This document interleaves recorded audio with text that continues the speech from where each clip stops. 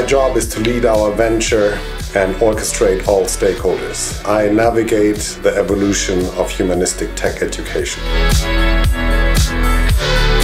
I'm juggling the building, finances and formalities and in that sense I'm making sure the spaceship is always ready to fly. My job is to select the right students and make sure they learn and progress to become happy software engineers.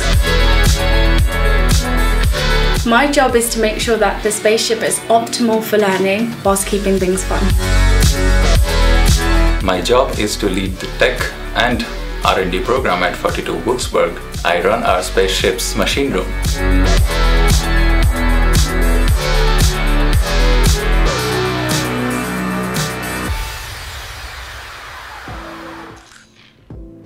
Forty-two Wolfsburg. This article is from the star year 2021 and will be continuously updated with the events. In one of the most important cities on planet Earth for 42 learners, in Wolfsburg, a new campus for a programming school of the intergalactic 42 network is being built. On Earth, there are currently 33 schools in 22 countries with over 10,000 students. The Wolfsburg School has a capacity of 600 adepts and, unless the universe conspires against it, the first 150 students will begin their educational journey starting today.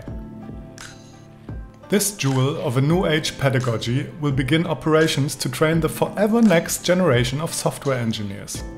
Some researchers expect the site to become an innovation speedboat for the German automotive and mobility sectors. Others foresee the school becoming a pioneer in the education system. The main reasons cited for this are the teaching approach, called peer learning, which can be considered quite innovative for this primitive way of life, the strong emphasis on teamwork, and the high degree of self-determination. It is possible to study at 42 Wolfsburg free of charge and without prior knowledge. The 42 Wolfsburg team has voted to provide students with the soft skills needed in a white water world where every day feels like maneuvering a kayak through rapids.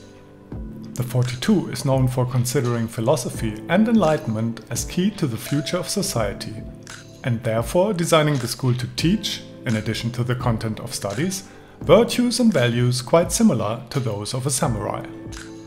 For this reason, special importance is also attached to topics such as the art of living, entrepreneurship, and responsibility.